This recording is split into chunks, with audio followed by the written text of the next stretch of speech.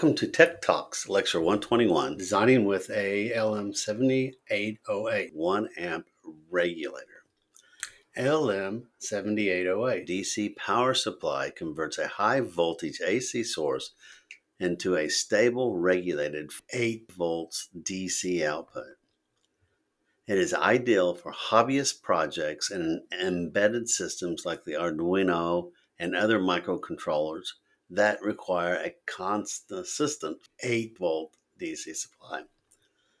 The design uses a transformer, a rectifier, a smoothing capacitor, references a bulk capacitance, a LM7808 with smoothing output capacitances. Selection of the ACN VN must be set to 2 volts higher than 8 volt DC regulated output thus aids in the selection of the step down transformer that will be chosen. Usually, a transformer that steps down 120 volts AC to 25 volts AC will work, but you could go as low as, as 10.5 volts AC. Here, uh, we're going over the electrical characterization of the Micro A 7800 series positive voltage regulators. These regulators are industrial standard and they are like the LM7508 family series or 75 LM7500 series. There are three terminal devices. Each device has an output current up to 1.5 amp, internal thermal overload protection, high power dissipation capability, internal short circuit current limiting, that is, if the the output gets shorted to ground, it'll shut down. Output transistor safe area compensation. As you can see, it's a TO220 package where the uh, pin 1, looking down on the device, is input, pin 2 is common, and pin 3 is the output. They have a, an associated family of voltage regu- integrated voltage regulators for a wide range of applications. I have 5 volts to 24 volts, made by Texas Instruments. Here is the uh, silicon schematic of the, inside the chip. We won't be going over that. Now we have some thermal data with relation to the package, the TO220 package.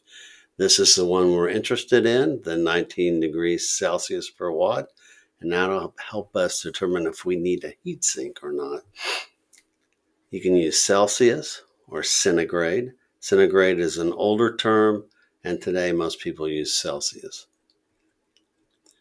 Here is our uh, positive voltage regulation testing uh, parameters, and these are the parameters used to test the operation of this device, to do a characterization of the device and uh, we'll just touch on a couple of them. Uh, the output voltage from 7 volts to 20 volts will uh, range from 4.8 volts, typical 5 volts, to a high of 5.2 volts, and then it'd be at 20 volts at 25 degrees centigrade.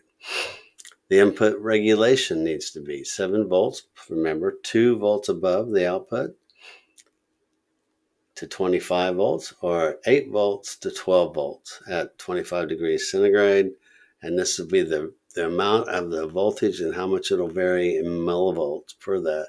As a ripple rejection, you know, to help you with your filtering cap and output regulations as the current changes from 5 milliamps to 1.5 amps at 25 degrees centigrade. That's how much the voltage will vary as the current changes has an output resistance of 17 ohms, 0. Point, sorry, 0.17 ohms, not 17 ohms.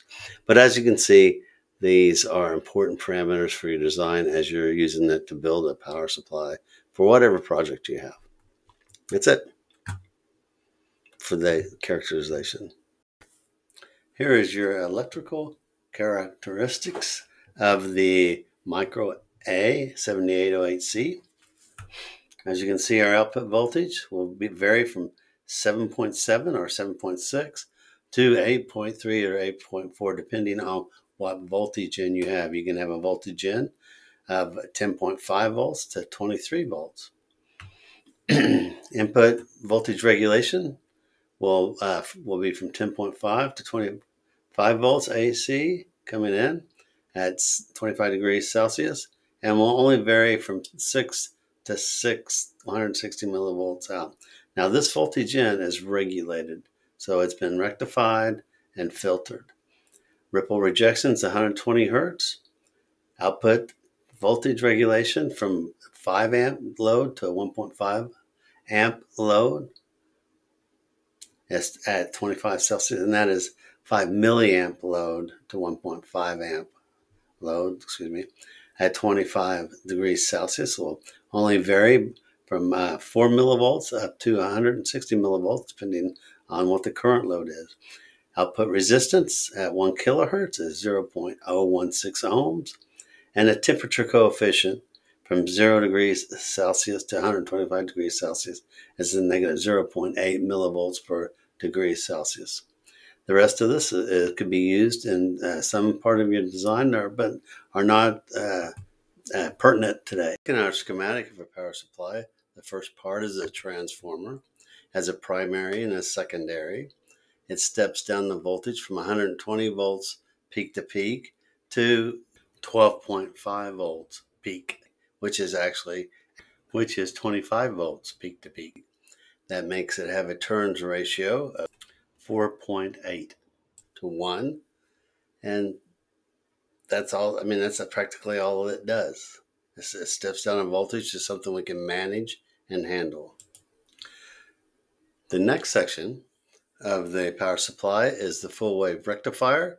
And as you can see, it takes the peak to peak uh, input AC voltage and forward biases on the positive, diodes like one and three, and causes a positive peak to come out. Then on the negative uh, pulse of the peak, it four biases uh, uh, one and three, two and four. And so this being diode one, diode three, diode two, and diode four. And as you can see, it creates this ripple of output consistent peak voltages. These are all 12.5 volts. That's why it's 25 volts, volts peak to peak. But these these are 12.5 volt peak voltages, and it continues to do this over and over again. And that's it for the full wave bridge rectifier. The third part of the power supply is the bulk capacitance. It appears right after the full wave rectifier or bridge rectifier. As you can see here, this blue, light blue line is your positive peak of the sinusoidal end, and it is half of the voltage that the sinusoidal peak to peak voltage was. Here's the negative side of that sinusoidal voltage, and again the positive side. And it just continues to go. As that, as that filters through the capacitor, charging and discharging, the time constant of the charge rate of the capacitor is much larger than this bandwidth or this wavelength of the 120 hertz ripple. It's 120 hertz ripple because it's 60 cycles in and it's times two, making 120. So you, you have the small ripple of 120 hertz. As we can remember looking at the electrical characteristics, it had a 120 hertz ripple rejection. This would feed and also into the this would actually be an electrolytic capacitor, 470 microfarads, and it feeds into a one uh, 0.1 microfarad ceramic cap. The ceramic cap is for spurious uh, spikes coming down the line, and it shorts all that to ground. This will feed right into the LM 7800 family or the Micro A 7800 family voltage regulator. It will regulate it and, and uh, output a nice smooth 8 volt DC out. Okay, now we're going to do our calculating power dissipation, PD. Using the power formula, PD equals voltage times current. So we our voltage is Vin minus V out. Vn is 12 volts. V out is 8 volts times the max current out is 1.5 amp. That comes to be 6 watts. We need to know theta JA, that's the junction temperature of the case that we have. We are in a TO220. So we go our, to our thermal characterization. This is our electronic characterization sheet. And this tells us we're in a 220 package. We have the 7800 family.